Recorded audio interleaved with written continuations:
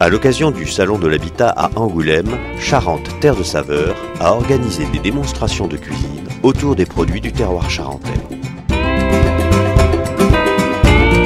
Patrick Gua, chef au lycée Saint-Joseph-Lamandier, nous prépare des ravioles au fromage de chèvre, jus d'herbe mousseux et écume de chanterelle noire.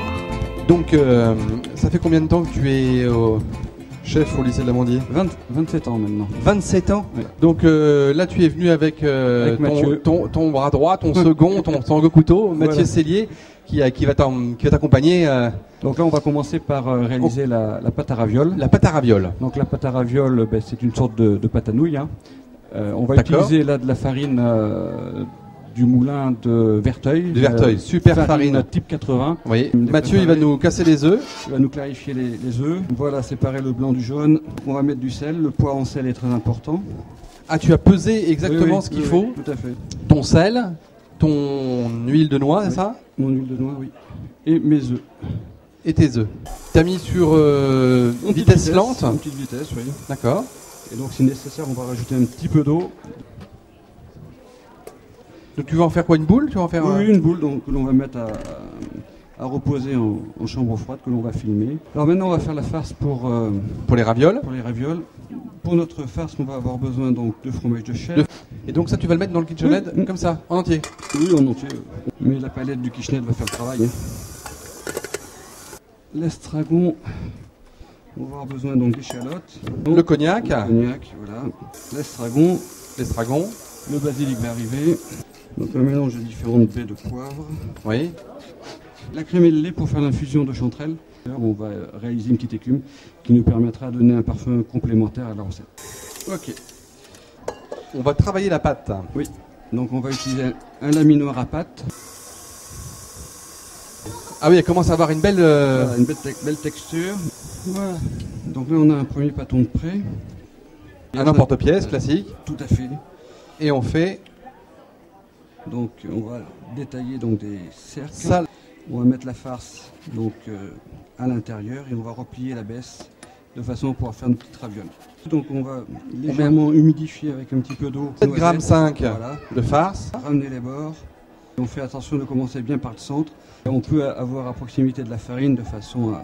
Parce que l'ennemi un petit peu des ravioles, c'est l'humidité.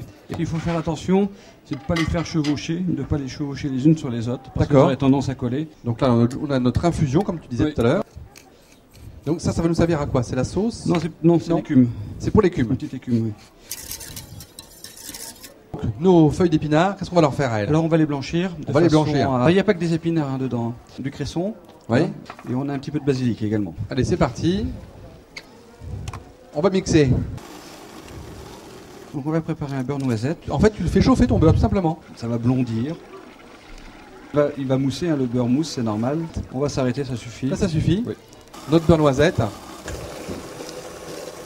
Et tu rajoutes un petit peu de bouillon. Le bouillon pour détendre. Il faut arriver à une, à une texture euh, très très lisse. hein, c'est ça. C'est parti pour verser, on fait pas de goutte, c'est ça? Voilà. Donc, combien de temps on les met à tremper là 3, minutes environ. Trois minutes. Oui. Alors là, on prend notre, euh, notre infusion de, de chanterelle. Voilà. L'intérêt de la lécithine de soja, c'est de stabiliser euh, cette écume. Là, on les met à égoutter, c'est ça On va les égoutter, oui. C'est pour la déco, ça en fait. Voilà, oui, oui, c'est la touche finale. Alors, vous faites un caramel, tout simplement. Voilà. Vous le laissez refroidir parce qu'il ne faut pas qu'il soit chaud au moment où vous mettez votre noisette dans le caramel. Et ensuite, vous la laissez s'égoutter et le caramel va filer. Donc, on dispose nos ravioles que tu mouilles. euh, Oui, que faut les, dé- oui, faut les déposer délicatement parce qu'elles euh, elles sont capricieuses. Hein. Donc, on va disposer l'écume sur un bord de l'assiette.